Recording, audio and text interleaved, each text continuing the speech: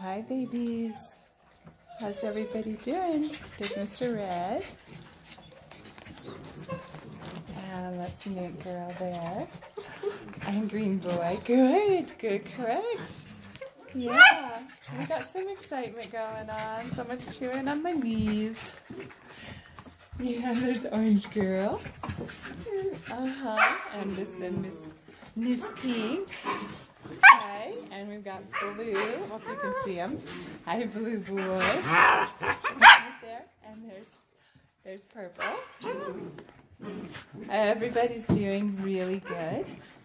And we've also been working on uh, their crate conditioning. So you can see they've got their crates lined up with their beds, with their doors off, just so they can start getting used to the idea of sleeping in a crate. Hi, there's so much. Hello, Red. Thank you. Look at how calm you're being.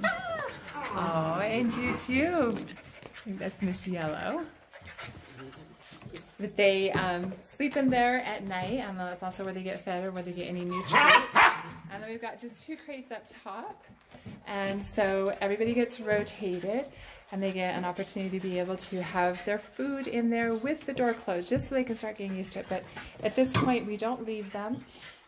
No, we don't leave you guys alone to be stressed out about that. We stay in here with you. If they're starting to get really worried about it, then we do let them out because we're just conditioning. We are not trying to train them at this point. And if that's something that you want to do, we just suggest doing that in increments. So it's not something that they're stressed and scared about. Just closing the door, being there with them, starting to maybe move out of the room a little bit at a time and just slowly building up.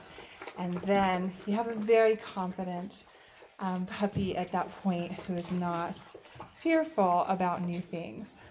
Right, Pink Girl?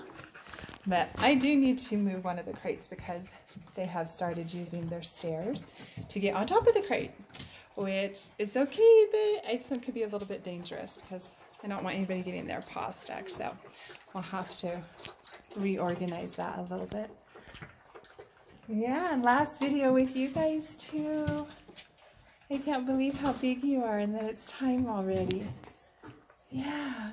You get to meet your new families. You can see they are. They're so good. They love each other. We just love them. They've been such a joy to be able to get to know and to work with. They've also been working on their what we call light leash work. So we are not pulling them around with the leash, but instead just encouraging them to follow us with the leash and treating them, giving them treats and doing the clicker work. Do the clicker, give them a treat whenever they do.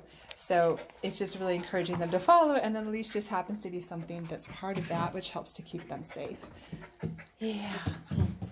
What do you guys think? Are you going to be ready? I think so. You've all done so good. That was amazing how loud puppies can be when they drink. Yeah, look at how nice and calm you're all being. Thank you. I appreciate that. All right. There they are.